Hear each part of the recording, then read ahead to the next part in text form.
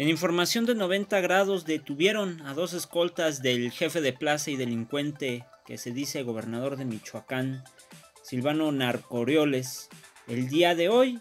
Y según menciona la unidad especializada en el combate al secuestro de la Fiscalía General del Estado, un par de policías en activo que se encontraban adscritos a la escolta de Silvano Aureoles Conejo, el llamado gobernador del estado, mejor dicho, pues el delincuente y jefe de plaza, que ni ha hecho gobierno ni desgobierno, o sea, ha pasado de noche, pues fueron detenidos, según informa esta unidad.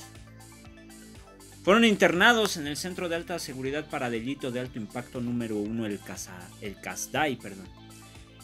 Se informó que un tal Jesús Alberto y Alberto elementos de la policía de Michoacán, quienes actualmente estaban adscritos a la escolta de Silvano Aureoles, pues fueron detenidos como presuntos responsables de delito de secuestro en agravio de una persona en la ciudad de Morelia.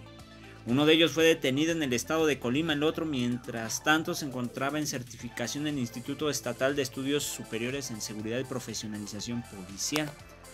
Cabe hacer la aclaración, dicen ellos, que además del cargo que actualmente ocupaban en la escolta del titular del Ejecutivo, este par de sujetos eran también escoltas de Juan Bernardo Corona Martínez, este último fue secretario de Inseguridad Pública del Estado. Ambos policías fueron internados a este centro y puestos a disposición de la autoridad jurisdiccional correspondiente.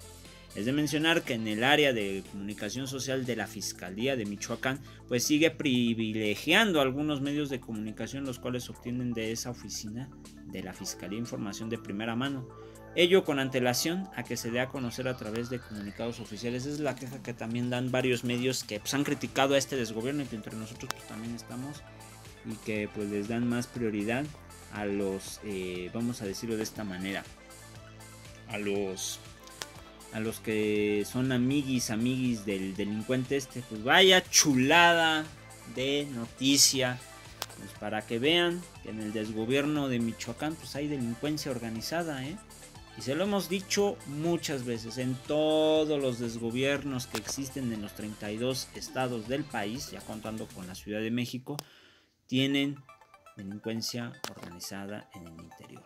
Por eso no pueden desarticular a los grupos narcoparamilitares, por eso no pueden desarticular a células delincuenciales, por eso siguen las cosas igual. Y aquí lo tienen.